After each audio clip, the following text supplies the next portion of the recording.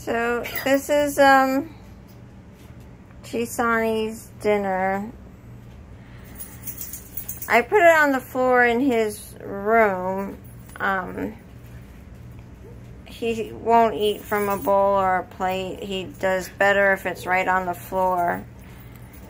And then um, I just spray it with vinegar water, the floor that is, after he's done to disinfect it for the next time.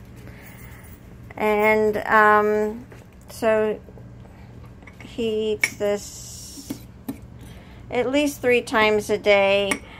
And um, sometimes it's only twice a day, but most of the time it's three times a day.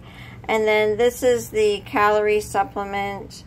Um, you just hold the bottle on its side and pour this um, and he gets one full ml twice a day and it syringes right in his mouth. He likes it. It's okay.